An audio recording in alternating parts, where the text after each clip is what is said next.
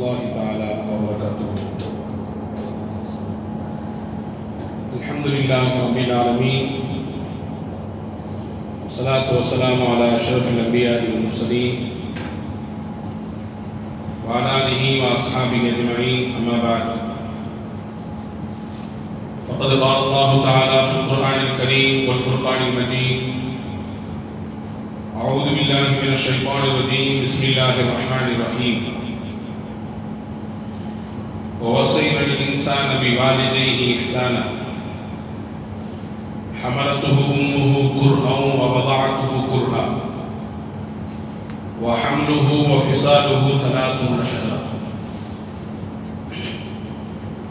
وقال نبينا خاتم النبيين محمد رسول الله صلى الله عليه وسلم.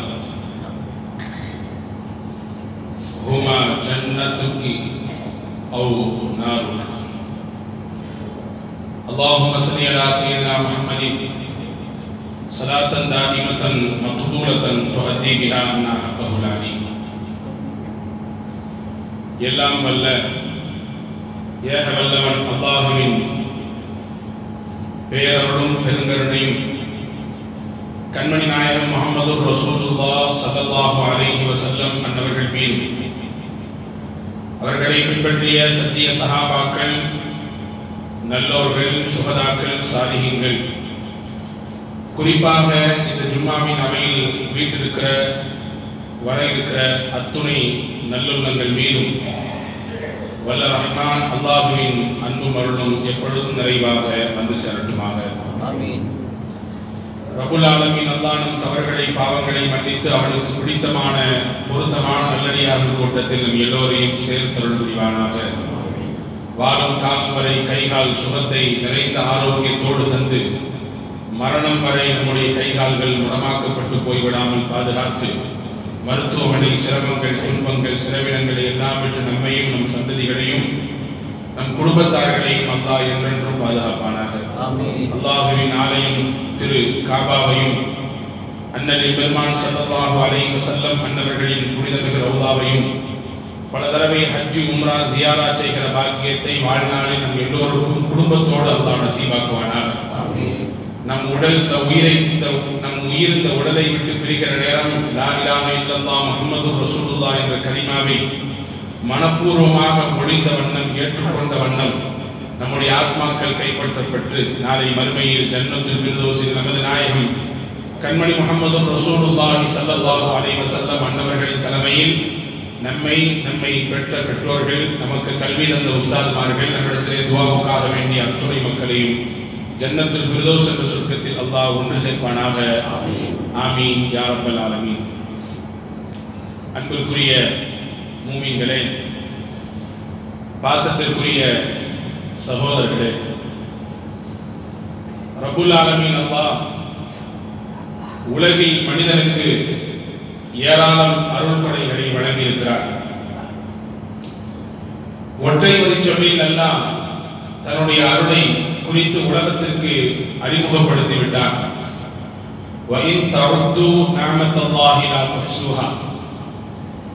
என் அருள் பெண்களை நீங்கள் எண்ணி பார்க்க வேண்டும் என்று நினைத்தால் உங்களால் முடியாது என்று சொல்லிவிட்டார். ஒரு வரையறைக்குள் அதை கொண்டு வந்து நிறுத்திவிட முடியாது. இவ்வளவுதான் கணக்கு. என்று முற்றுப்புள்ளி வைக்க முடியாது. அந்த அளவிற்கு எண்ணிலடங்கா அருளை மனிதர்களின் மீது அல்லாஹ் அனுதினமும் ஒவ்வொரு இமைக்கும் நிமிடம் பொழுதிலும் கூட வழங்கிக் கொண்டே இருக்கிறார். அல்லாஹ் மனிதனுக்கு கொடுத்த பெரும் அருள் அருளில் கட்டுப்பட்டதுதான் தாயும் தந்தையும். நம்மை உலகத்திற்கு அல்லாஹ் அறிமுகப்படுத்த வேண்டும் என்று நினைத்தான்.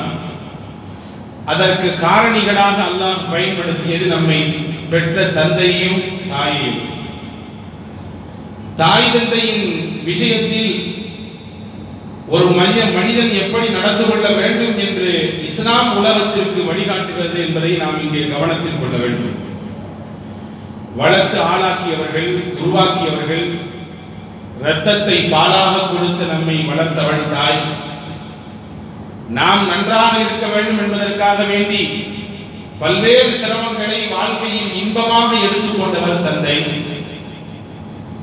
குழந்தைகளை மனைவி மக்களை சொந்தங்களை நட்புகளை எல்லாம் பிரிந்து பல ஆயிரக்கணக்கான மைல்களுக்கு அப்பால் போய் நின்று தன் சுகத்தை கூட மறந்து தன்னுடைய இன்பத்தை கூட ஓரம் வைத்துவிட்டு இரவு பகல் பாராமல் உழைத்து நம்மை உருவாக்கியவர் நம் தந்தை. அன்பு சகோதரர்களே அந்த தாயும் தந்தையும் இன்று எப்படி பார்க்கப்படுகிறார்கள்? உலகத்து மக்களுக்கு இஸ்லாம் அவர்களை குறித்து கொடுக்கக்கூடிய பார்வை என்ன என்பதை குறித்து தான் சில விஷயங்கள் நான் உங்களோடு பகிரப் போகிறேன். அன்பு சகோதரர்களே திருக்குறானில் அல்லாஹ் ஒரு வசனத்தில் சொல்கிறான் وَوَصَّيْنَا الْإِنسَانَ بِوَالِدَيْهِ إِحْسَانًا அல்லாஹ் வசியத்து செய்தான் மனிதனுக்கு அல்லாஹ் வசியத்து செய்தான் பெற்ற பெற்றோர்களுக்கு உபகாரமாக நடந்து கொள்ளுங்கள் என்று வசியத் செய்தான் கவனத்தில் கொள்ள வேண்டும் திருக்குறானை நீங்கள் புரட்டி பாருங்கள் கடமைகளை நிறைவேற்றுங்கள் என்று சொல்லுகிற பொழுது இந்த வாசகம் இடம்பெறவில்லை இந்த வார்த்தையை அல்லாஹ் பேசவில்லை அகீமு சலா தொழுங்கள் என்றான் ஆத்துல் ஜக்கான் ஜக்காத்தை நிறைவாக நீங்கள் நிறைவேற்றுங்கள் என்றான். ஹஜ்ஜி செய்யுங்கள் என்றான் சக்தி இருந்தார் நோன்பு வையுங்கள் என்றான். நல்லதை பேசுங்கள் என்றான் வட்டியை சாப்பிடாதீர்கள் என்றான். உறவுகளை நீங்கள் அரவணைத்துக் கொள்ளுங்கள் என்றான். இப்படி அல்லாஹ் தனக்கு நிறைவேற்ற வேண்டிய கடமைகளை சொல்லும் பொழுதும் மனிதன் பிற மனிதர்களோடு நடந்து கொள்ள வேண்டிய முறைகளை குறித்து பேசுகிற பொழுதும் பொத்தாம் பொதுவாக சொன்ன அப்பொழுது ஆலமீன் அல்லாஹ் ஒரு மனிதன் தன்னை பெற்ற தாய்க்கும் தகப்பனுக்கும் செய்ய வேண்டிய கடமையை பற்றி பேசும் பொழுது சொன்னான் இன்சான். மனிதனுக்கு நாம் வசியத்து செய்திருக்கிறோம். வசியத் என்றால் நமக்கு தெரியும். கடைசி நேரத்தில் உயிர் உடலை விட்டு பிரிகிற நேரத்தில் பிள்ளையை கூப்பிட்டு சொந்தங்களை கூப்பிட்டு என்னுடைய கடைசி ஆசை இது இதை நீ நிறைவேற்ற வேண்டும் என்று சொல்லி வைத்து மூத்தாகிவிட்டார். தகப்பன் என் கடைசி விருப்பம் இது இதை நீ நிறைவேற்ற வேண்டும் என்று சொல்லிவிட்டு தாய் மரணித்து போய்விட்டார். இந்த வார்த்தைக்கு இந்த வாக்குறுதிக்கு நம்மில் எந்த அளவிற்கு முக்கியத்துவம் கொடுக்கப்படுமோ அது எப்படி நம் தலைமேல் தூக்கி வைக்கப்படுமோ அது போன்றுதான் அல்லாஹ் சொல்லுகிறான் உங்கள் தாயிடத்திலும் தந்தையிடத்திலும் நீங்கள் உபகாரமாக நடந்து கொள்ளுங்கள் என்கிறார் அல்லாஹ் இதை சொல்லிவிட்டு அடுத்து அடுத்து தொட்டடுத்து தனிப்பட்ட முறையில் தாயை பற்றி பேசுகிறார். ஹமலத்துஹு உம்முஹு குர்ஹன் வவதஅத்துஹு குர்ஹா. ஒரு தாய் பிள்ளையை கருவில் சுமக்கக்கூடிய அந்த காலம் வெகு சிரமத்தோடு கடுமையான சிரமத்தோடு அந்த குழந்தையை அவள் சுமக்கிறாள். வவதஅத்துஹு குர்ஹா. குழந்தை வெளியே வருகிற அந்த பிரசவ நேரம் தேர்காலத்தினுடைய அந்த நேரம் அந்த நேரத்திலும் கடும் சிரமத்தை அவர் அனுபவிக்கிறார்.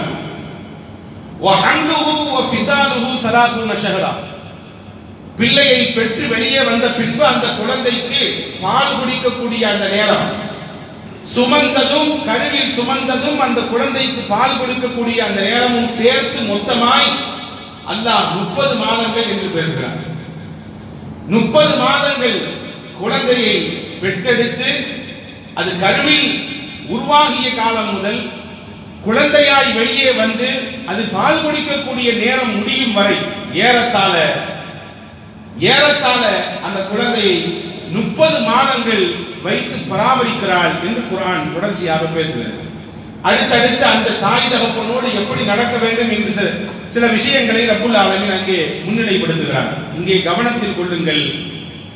தாய் என்பவள் ஒவ்வொருவருக்கும் நாம் பேசியிருப்போம் கேட்டிருப்போம். மறுபிறவி பெருக்கக்கூடிய எடுக்கக்கூடிய நேரம்தான் கர்ப்பத்தினுடைய அந்த குழந்தையை பெற்றெடுக்கக்கூடிய அந்த பேர்காலத்தின் சமயம். எனவேதானோ என்னவோ அருமை நாயகம் சல்லல்லாஹு அலைஹி வஸல்லம் இடத்தில் நபித்தோழர் வந்து ஒருவர் கேட்பார் மன் அஹப்பு பிஹுஸ்னி சஹாபதி இலைய? யா ரசூலுல்லாஹ் நான் உலகத்தில் அதிகம் உபகாரம் செய்வதற்கு த- மிக தகுதியானவர் யார் என்று கேட்க அருமை நாயகம் சொல்வார்கள் உன் தாய் என்பார்கள். அதற்கடுத்து யாருக்கு? உன் தாய் என்பார்கள். அதற்கடுத்து யாருக்கு? உன் தாய் என்பார்கள். நான்காவதாக கேட்பார் யாருக்கு? உன் தகப்பன் என்பார்கள். அன்பு சகோதரர்களே இங்கே கவனத்தில் கொள்ளுங்கள். இந்த வார்த்தையை நாம் பல தடவை போகிற போக்கை காதில் போட்டுவிட்டு போயிருக்கலாம். மூன்று முறை தாயை முன்னிலைப்படுத்தியதற்கு மிக பிரதான காரணத்தை பெருமக்கள் எழுதி தருகிறார்கள். குழந்தை பெறுகிற நேரம் முதல் அதை பெற்றெடுத்து வளர்க்கும் நேரம் வரை மூன்று பெரும் சிரமங்களை ஒரு பெண் சந்திக்கிறார் முதல் சிரமம் பத்து மாதம் வயிற்றில் வைத்து அந்த குழந்தையை உருவாக்க வேண்டி அவர் மேற்கொள்ளக்கூடிய அந்த கஷ்டம். ஒரு கிலோவை வயிற்றோடு சேர்த்து கட்டிக்கொண்டு ஒரு மணி நேரம் நம்மால் சுத்த முடியாது. ஒரு மணி நேரம் நம்மால் நம்முடைய சுய தேவைகளை செய்ய முடியாது. ஒரே ஒரு கிலோவில் ஏறத்தாழ பத்து மாதங்கள். அந்த குழந்தையை வயிற்றில் சுமையாக சுமக்கவில்லை சுகமாக தாய் சுமக்கிறார் அதை சுகமாக எண்ணி சுமக்கிறார் எனவே உன் தாய்க்கு நீ முதலாவதாவது உப- உபகாரம் செய்வதற்கு மிக தகுதியானவள் தாய்தான். இரண்டாவது நபிகள் ஏன் மறுபடியும் தாய்க்கு முக்கியத்துவம் தருகிறார்கள் என்றால் மறுபிறவி என்று நாம் சொல்லுகிறோமே அந்த நிலையை அவள் அடைகிறாள் பெற்றெடுக்கக்கூடிய அந்த சமயம் குழந்தை வெளியே வரக்கூடிய அந்த பேர்காலத்தின் நேரம் நீங்கள் இங்கே கவனியுங்கள். உலகத்தில் பெண்ணாய் பிறந்த எல்லோருக்கும் தெரியும் தாய்மை என்பது எளிதானதல்ல. அது உயிர் போய் உயிர் வரக்கூடிய நேரம். சுகப்பிரசவமாக இருந்தால் உயிர் போய் மறுபடியும் மரணத்தின் எல்லையை போய் தொட்டு விட்டு வரக்கூடிய சமயம் அது. எல்லா பெண்ணுக்கும் தெரியும். பிரசவம் என்பது லேஸ் என்று யாரும் எண்ணுவதில்லை. பெரிய சிரமம் தான் ஆனால் உலகத்தில் எந்த பெண்ணாவது தாய்மை அடைய வேண்டாம் என்று நினைப்பதுண்டா? எனக்கு தாய்மை வேண்டாம். நான் அந்த சிரமத்தை சகித்துக் கொள்ள முடியாது. என்னால் அந்த கஷ்டத்தை அந்த வேதனையை அந்த வழியை சுமக்க முடியாது என்று ஏதாவது ஒரு பெண் நினைக்கிறாளா? நினைப்பதில்லை. எல்லாரும் ஆசைப்படுகிறார்கள். அன்பு சகோதரர்களே இங்கே கவனியுங்கள். அருமை நாயகம் சல்லா அலி செல்லம் ஒரு ஒரு பிள்ளை தன் தாய்க்கு இரண்டாவதாவது முக்கியத்துவம் கொடுத்து உபகாரம் செய்வதற்கு மிக தகுதியானவன் தாய்தான் என்று பெருமானார் சொன்னதற்கு மிக பிரதான காரணம் என்னவென்றால் அந்த பேர்கால நேரத்தில் அவள் படுகிற சிரமங்கள். மரீம் அலி இஸ்லாமை பற்றி குரான் சொல்லுகிறது. கருவுற்ற பிறகு ஈசா அலி இஸ்லாமை பெற்றெடுக்க வேண்டும். அந்த நேரத்தில் அவர்கள் பட்ட பாடு மரியம் அலி இஸ்லாம் மட்டுமல்ல உலகத்து பெண்களை எல்லாம் சேர்த்து முத்தாய்ப்பாய் மரியமை மையப்படுத்தி அல்லாஹ் உலகத்திற்கு சொல்கிறார் யாலை லைத்தனி மித்து கபுல் ஹாதா வ குந்து நசியம் மன்சியா. ஐயோ எனக்கு சிரமமாக இருக்கிறதே. இந்த நிலை வருவதற்கு முன்னால் நான் மௌத்தா இருக்கலாமே என்று சொன்னார்கள். வலியும் வேதனையும் ஒன்று சேர்த்து வந்த வார்த்தை இது. நான் இந்த நிலையை அடைவதற்கு முன்னால் இதற்கு பதிலாக நான் மரணித்திருக்கலாமே. மரணித்திருந்தால் மண்ணோடு மண்ணாக போயிருப்பேனே. ஒரு சிரமம் தானே இவ்வளவு சிரமத்தை தாங்கிக் கொள்ள முடியவில்லையே. என்று ஹஜரத் மரீம் அலி இஸ்லாம் சொன்ன வார்த்தை குரானிலே பதிவாகிறது அன்பு சகோதரர்களே எனவே இரண்டாவதாக முக்கியத்துவம் நபிகள் நாயகம் தாய்க்கு கொடுப்பதற்கு காரணம் இது. மூன்றாவது ஏன் என்றால் அருமை நாயகம் சல்லா அலிஸ்லாம் அவர்களின் ஹதீஸை ஆய்வு செய்கிற பெருமக்கள் சொல்கிறார்கள் இரண்டு வருடம் பரிபூர்ணமாக ரத்தத்தை பாலாக தருகிறார்கள் இரண்டு வருடம். இரண்டு வருடம் ரத்தத்தை தருகிறார். உள்ளே குழந்தை இருக்கிற பொழுது அல்லாஹ் கொடுத்தான் உணவு. வெளியே வந்த உடனேயே அழுகிறது பசிக்கிறது அல்லாஹ் உணவை அந்த தாயிடத்திலிருந்தே சுரக்க வைக்கிறான். ரத்தம் தான் பாலாக அந்த குழந்தையின் வயிற்றை ஆற்றுகிறது பசியை நீக்குகிறது. எனவே அல்லாஹுவின் தூதர் சொன்னார்கள் மூன்றாவதும் நீங்கள் அதிகம் உபகாரம் செய்வதற்கு மிக தகுதியானவர்கள் தாய்தான். அன்பு சகோதரர்களே தாய்மார்கள் எவ்வளவு சிரமங்களை மேற்கொண்டு ஒரு குழந்தையை பராமரிக்கிறார்கள் வளர்க்கிறார்கள் ஆளாக்குகிறார்கள் என்பதற்கு இதைவிட மிகச்சிற மிகச்சிறந்த உதாரணத்தை நாம் சொல்ல இயலும். ஹதீஸில் ஒன்று வரும். ஹாரிசா என்ற நபித்தோடர் அருமை நாயம் சல்லா அலி செல்லம் ஆயிஷா ரதியல்லாஹு இடத்தில் பேசிக் கொண்டிருக்கிற பொழுது சொன்னார்கள் நிந்தின் நின்துல் பாரிஹா நேற்றிரவு நான் உறங்கினேன் உறக்கத்தில் ஒரு கனவு பார்த்தேன் கனவில் சொர்க்கத்திற்கு என்னை அழைத்து செல்கிறார்கள் நான் சொர்க்கத்திற்கு போவதற்கு முன்பாகவே சொர்க்கத்தின் உள்ளார் அமர்ந்து கொண்டு யாரோ குரானை ஓதுகிறார். குரான் ஓதுகிற சத்தம் கேட்கிறது. சொர்க்கத்திற்கு உள்ளே போனேன். போவதற்கு முன்பாகவே இந்த சப்தம் கேட்டேன். யார் ஓதுகிறார் குரான்? யார் எனக்கு முன்னால் சொர்க்கத்திற்குள்ளே போய் அமர்ந்து கொண்டு குரான் ஓதுகிறார்? அருமை நாயகத்திரத்திலே மலக்குகள் சொன்னார்கள். அவர் பெயர் ஹாரிசா என்றார்கள். ஹாரிசாவா? நபிகள் அப்படியே அந்த கனவை அதற்கு ஆயிஷாவிடத்திலே சொல்லிவிட்டு சொன்னார்கள் கதாலிக்கல் பிர் கதாலிக்கல் பிர் கதாலிக்கல் பிர் வகான அபர்